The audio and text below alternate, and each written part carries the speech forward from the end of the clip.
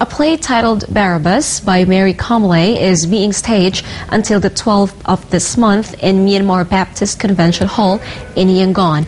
Organized by the Anglican community in Myanmar, the play aims to share the story about the salvation and transformation of life of the criminal named Barabbas, who was not prosecuted of his sins because of Jesus Christ. Staged once every evening until Sunday, the play is open to the public and is free to watch.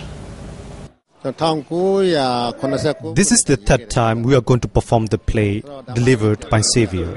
It is the play based on Barabbas by Mary Comley. The play will start at 6 every evening from January 8 to 12. We've been performing plays about the life story of Savior annually since 1979. But then they were held in the first week of December. We had to take for about a year for preparing the play. We are going to perform the play by 40 performers. We perform this play not only in Yangon but also in Myitkyina. My role is Barabbas.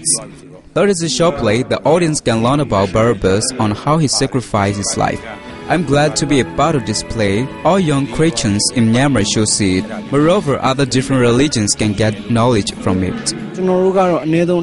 We have practiced very hard for two months to be able to perform in this play. I am very happy. As a supporting performer, I am very proud of this show organized by our Anglican church. I spent so much time to rehearse. There were even days I didn't go to school. We sometimes rehearse till midnight. I invite everybody to come.